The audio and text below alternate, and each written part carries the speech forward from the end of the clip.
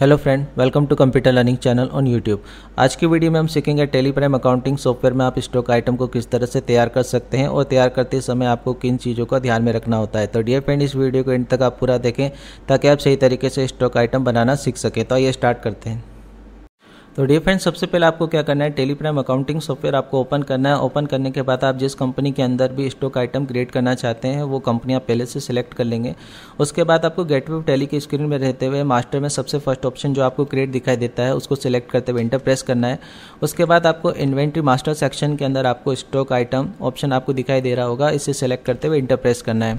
उसके बाद जो भी प्रोडक्ट आप अपने बिज़नेस में परचेस और सेल्स करते हैं, वो प्रोडक्ट का नेम आपको यहाँ पर टाइप करना होता है, ठीक है? तो फॉर एग्ज़ाम्पल समझाने के लिए, मान लीजिए मेरा मोबाइल का बिज़नेस है तो मैं उससे रिलेटेड प्रोडक्ट यहाँ पर टाइप कर सकता हूँ, ठीक है? और तैयार कर सकता हूँ। तो यहाँ पर मैं एग्ज़ाम्पल समझाने के लिए आईफोन 14 प्रो टाइप कर रहा हूँ, ठीक है? उसके बाद एलाइस का मतलब होता है अगर इस प्रोडक्ट को किसी और नाम से भी जाना जाता है, यानी उपनाम, ठीक है? तो आप वो यहाँ पर टाइप कर सकते हैं। उसके अलावा अगर आप चाहते हैं डीएफ के प्रोडक्ट की कुछ एडिशनल इन्फॉर्मेशन भी आप देना चाहते हैं तो इसके लिए आपको क्या करना होगा? टेलीप्राइम अकाउंटिंग सॉफ्टवेयर में राइट तरफ़ आप देखेंगे कॉन्फिगेशन ऑप्शन दिखाई देता है। इस पर आपको क्लिक करना है। जिससे क्या होगा कॉन्फ़िगरेशन विंडो आपको दिखाई देगी, ठीक है? इसके अंदर आप देखेंगे, एक ऑप्शन होता है provide description for stock item इस ऑप्शन को आप येस कर देंगे, ठीक है?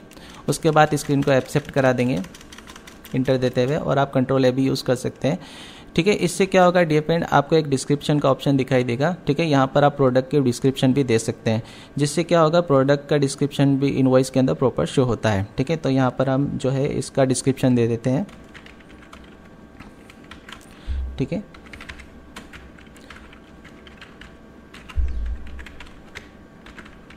तो आपको यहाँ पर जो है डिस्क्रिप्शन टाइप कर देना है। उसके बाद आपको इंटर प्रेस करना है और यहाँ पर अंडर में आपको ग्रुप सेलेक्ट करना होता है, ठीक है? बाय डिफ़ॉल्ट आप देखेंगे यहाँ पर प्राइमरी रहता है, पर आप चाहें तो ग्रुप जो है, तैयार भी कर सकते हैं, अगर आपने नहीं बना रखा है। तो ग्रुप क्या होता है? डिपेंड जो प्रोडक्ट होता है, उसका कई बार ब्रांड नेम या कंपनी नेम भी होता है, ठीक है? तो आप तैयार करना चाहते हैं तो आपको क्रिएट ऑप्शन पर इंटर प्रेस करना है और यहाँ पर जो है, आपको जो ग्रुप नेम तैयार कर लेना है। तो ये जो ग्रुप है, इसका एप्पल है, ठीक है? उसके बाद अंडर हमें प्राइमरी ही रखना है, ठीक है? बाकी किसी भी ऑप्शन को हमें कुछ भी चेंज नहीं करना है। और उसके बाद हम यूनिट पर आ जाएँगे तो यूनिट भी सबसे इंपॉर्टेंट है डीएपेंट क्योंकि बहुत से यूज़र अगर यहाँ पर यूनिट सिलेक्ट नहीं करेंगे तो क्या होगा कि जब आप वाउचर एंट्री पास करेंगे तो आप जो है उसमें क्वांटिटी इनपुट नहीं कर पाएँगे, ठीक है? तो इस पर स्पेशली आपको ध्यान रखना है, ठीक है?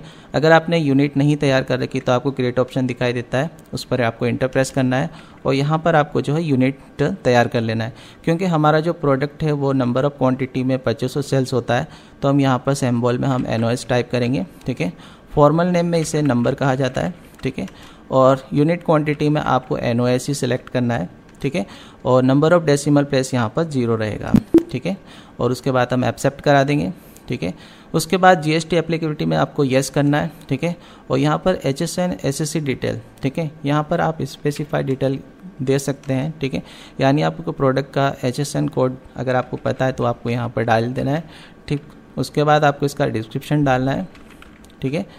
उसके बाद आपसे पूछेगा जीएसटी रेट रिलेटेड डिटेल तो आपको क्या करना है? यहाँ पर स्पेसिफाइड डिटेल का यूज़ करना है। उसके बाद आपको टैक्सेबल टाइप के अंदर टैक्सेबल लेना है, ठीक है? उसके बाद आपको जितना परसेंट लगता है इस प्रोडक्ट के ऊपर, वो टैक्स रेट आपको यहाँ पर डाल देना है, ठीक है? उसके बाद टाइप ऑफ़ सप्लाई में आपको गुड सेलेक्ट करना है, ठीक है? उसके बाद यहाँ पर आपसे पूछेगा रेट ऑफ़ ड्यूटी तो यहाँ पर आपको कुछ भी इनपुट नहीं करना है। और इंटर देते हुए आपको क्या करना है? एक्सेप्ट कर लेना है। उसके अलावा अगर डियर फ्रेंड आपने पहले से स्टॉक आइटम बना रखा है और आप उसमें मॉडिफाई करना चाहते तो आपको क्या करना होगा? आपको सबसे पहले स्टॉक आइटम क्रिएशन स्क्रीन से बाहर निकलना होगा। इसके लिए आपको अपने कीबोर्ड से स्केप की का यूज़ करना होगा। और आप गेटवे टेली की स्क्रीन में आ जाएँगे। उसके बाद आपको क्या करना है, आपको मास्टर में एल्टर ऑप्शन दिखाई देता है। इस ऑप्शन को आपको सिलेक्ट करते हुए इंटरप्रेस करना है। इसके बाद आपको इन्वेंट्री मास्टर सेक्शन के अंदर आपको स्टॉक आइटम सिलेक्ट करना है। उसके बाद जिस आइटम के भी अंदर आप मॉडिफाई करना चाहते हैं, वो आप आइटम सेलेक्ट कर लेंगे, यानी वो प्रोडक्ट आप सेलेक्ट कर लेंगे, ठीक है?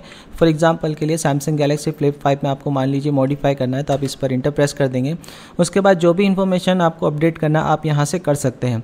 उसके अलावा डिपेंड अगर आप किसी भी प्रोडक्ट को डिलीट भी करना चाहते हैं तो इसी स्क्रीन में रहते हुए आपको अपने कीबोर्ड से एल्टर के साथ डी प्रेस करना होगा, जिससे क्या होगा, आपके सामने डिलीट ऑप्शन आ जाएगा, ठीक है? उसके बाद अपने कीबोर्ड से आपको वाई प्रेस करना है, जिससे क्या होगा, वो प्रोडक्ट आपका डिलीट हो जाएगा। तो इस तरह से फ्रेंड आप जो है टेली प्राइम के अंदर स्टॉक आइटम बना भी सकते हैं डिलीट भी कर सकते हैं और मॉडिफाई भी कर सकते हैं। तो डियर फ्रेंड आज की वीडियो में हमने सीखा कि किस तरह से आप टेली प्राइम अकाउंटिंग सॉफ्टवेयर में स्टॉक आइटम को क्रिएट कर सकते हैं। तो डियर फ्रेंड आज की बनाई हुई वीडियो अगर आपको पसंद आई है तो वीडियो को लाइक ज़रूर करें और इस वीडियो को अपने फ्रेंड सर्कल में आप भी ज़रूर शेयर करें ताकि आपके थ्रू वो भी स्टॉक आइटम को सही तरीके से बनाना सीख सकें।